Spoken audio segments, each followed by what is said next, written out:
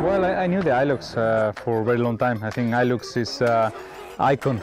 It was nice to test the car here in a, in a quite difficult environment, uh, on a really uh, proper stage and uh, push the limit a little bit the car. Uh, the new engine, the 2.8 liter, behaves amazingly well, very powerful. Even if you push the car to the limit, the comfort is still there. So yeah, I think the new Hilux can be invincible.